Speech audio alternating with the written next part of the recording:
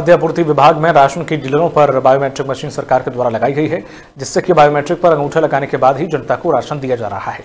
लेकिन अब ration dealer biometric machine का विरोध करने लगे हैं।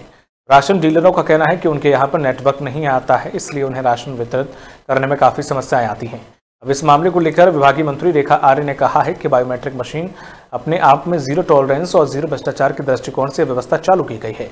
बायोमेट्रिक व्यवस्था से यह फ़ायदा होता है कि जितना राशन वितरित होता है, उतना ही राशन उसको अलाउड किया जाता है। और इस व्यवस्था में कई जनपदों ने अपनी इच्छा, जो अच्छा परफॉर्मेंस है वो दिखाया है और पहाड़ी जनपदों में भी अब तक संपूर्णता नहीं हो पाई है। उस पर भी हम आगे काम करेंगे और रही बात रिचार्ज की तो रिचार्ज का पैसा राशन डीलर को मिलता है। लेकिन उसमें थोड़ी समस्या यह है कि वह पैसा समय पर नहीं मिल पाता है। उसको लेकर भारत सरकार केंद्रीय मंत्री से भी वार्ता जारी है।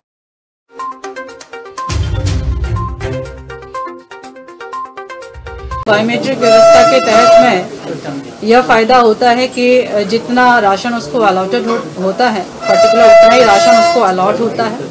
उसके थम के साथ में अलॉट होता है। जो कि मैं समझती हूँ उसकी एक अपनी यूनिक आईडी होती है। इस व्यवस्था में कई अपने जनपद जो है, उन्होंने अच्छी परफॉर्मेंस कर रखी है। लगभग अस्सी प्रतिशत तक में भी, पचहत्तर प्रतिशत तक में भी पूर्ण हुआ है। पहाड़ी जनपदों में अभी संपूर्णता नहीं आ पाई है, उस और हम लोग बढ़ेंगे। और रही बात की उसको रिचार्ज करने के उससे तो रिचार्ज का पैसा मिलता है, लेकिन दिक्कत ये है कि समय पर नहीं मिल पाता है। वो कहीं ना कहीं इशू है। उसको लेकर जो है, भारत सरकार में जो है, केंद्रीय मंत्री जी से भी वार्ता उस क्रम में जारी है।